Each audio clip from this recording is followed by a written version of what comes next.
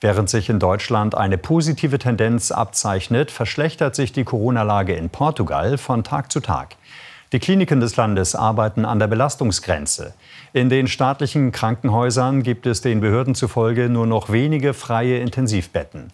Portugal hat etwa 10,3 Millionen Einwohner. Die Zahl der Neuinfektionen pro 100.000 Einwohner, die 7-Tage-Inzidenz, liegt aktuell bei rund 877.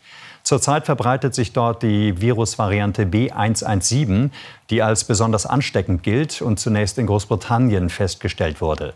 Das öffentliche Leben in Portugal ist weitgehend heruntergefahren. Zu Hause bleiben ist Pflicht. Die Menschen dürfen nur noch für das Nötigste vor die Tür. Lange waren die Corona-Regeln in Portugal eher locker. Da erscheint es vielen logisch, dass die Situation jetzt so schlimm ist. Die Regierung musste die Reißleine ziehen.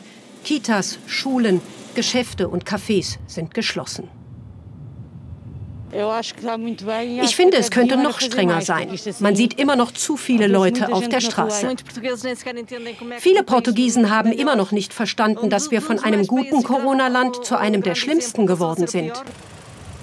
Vor öffentlichen Kliniken wie dieser in Lissabon stauen sich schon seit Tagen immer wieder die Krankenwagen.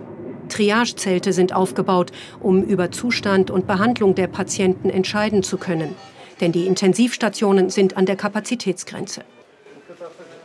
Vergangene Nacht wurden zur Entlastung Patienten nach Madeira ausgeflogen. Im Gespräch ist auch, dass die Bundeswehr Kranke nach Deutschland verlegt. Ärzte halten das aber für Unsinn. Schließlich gäbe es in portugiesischen Privatkliniken noch reichlich freie Betten.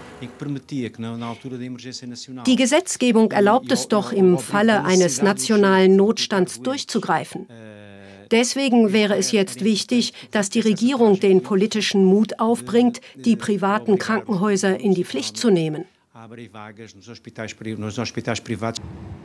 Die hochinfektiöse britische Variante des Virus soll im Großraum Lissabon schon für die Hälfte aller Fälle verantwortlich sein.